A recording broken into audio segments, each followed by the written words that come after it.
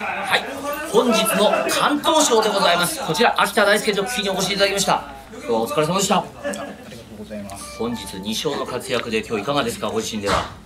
いや、びっくりしました。えー、ねあのどちらも本当にあの勇ましいレースぶりでいい勝利だったと思うんですが、あのなかなかやっぱりこれジョッキーあのそれぞれが勝とうとしてますからまとめて勝つっていうのはやっぱり難しいことですよね。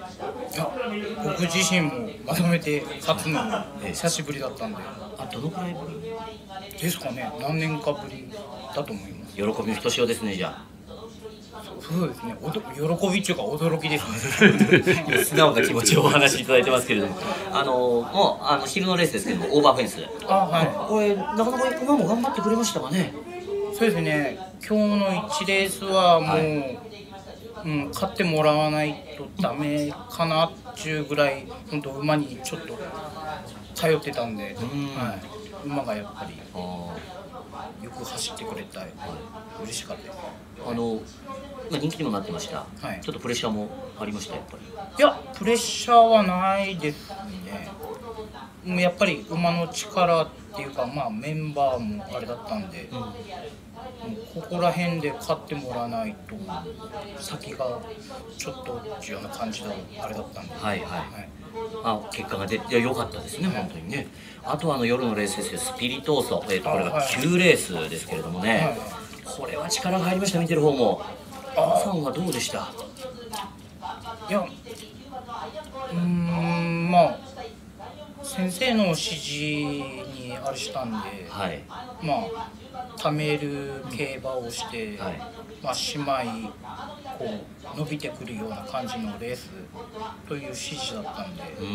で別にそんな無理もしないで本当貯めてまあ馬群がばらけてくれたのが多分はい。良かったんだと思いますあの前行ってる馬がですね、はい徐々にこう近づいてくるわけですよね、もっとかわせるところまで、はいどの辺りでこうやれるぞっていう気持ちがありました？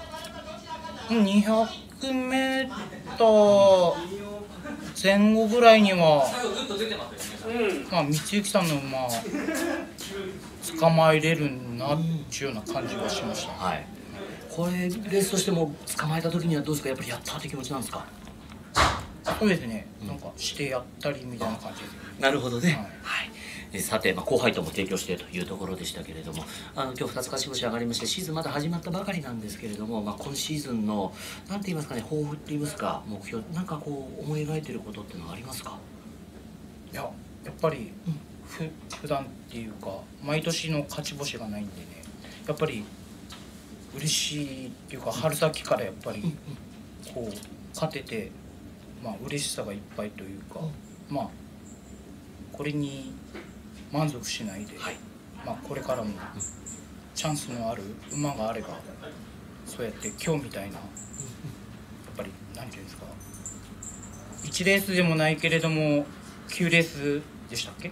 勝ったの？後半そうです。そうですね。そういうような馬でちょっとこう一発があればやっぱり乗ってても楽しいですあそれが一番なんですねだからね、あの本当に今日は沸かせてくれました。最後に全国のファンの皆さんにこう一言メッセージ意気込みお願いします。